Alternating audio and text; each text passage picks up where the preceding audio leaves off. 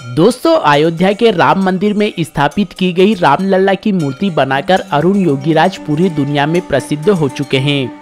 वहीं अब पश्चिम बंगाल, आसनसोल के रहने वाले आशीष कुंडू और उनकी पत्नी रूबी कुंडू ने कुछ ऐसा कर दिया, जिसकी खूब चर्चा हो रही है। बता दें, आशीष और रूबी ने मिलकर एक बच्चे का ऐसा मेकअप किया है, जो दिखने में हूबहू अयोध्या के राम मंदिर में विराजमान राम लल्ला की तरह ही दिखाई दे रहा है। आशीष और रूबी ने एक महीने की कड़ी मेहनत से मेकअप का सामान तैयार किया और आबिर दे नाम के एक नौ साल के बच्चे को अयोध्या में विराजमान राम लल्ला का स्वरूप दिया है। इसके लिए आशीष ने बकायदा बच्चे के माँ बाप से हाथ जोड़कर अपील की और कहा कि वो उनके बच्चे को भगवान राम का स्वरूप देना चाहते हैं।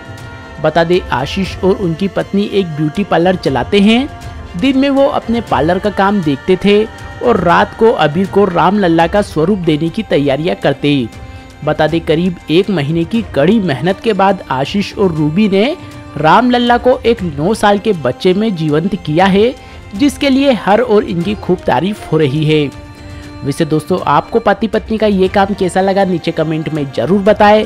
साथ ही वीडियो को लाइक और हमारे चैनल को सब्सक्राइब करना ना भूलें, ताकि देश और दुनिया की तमाम अनोखी खबरें हम आपके लिए लाते रहें।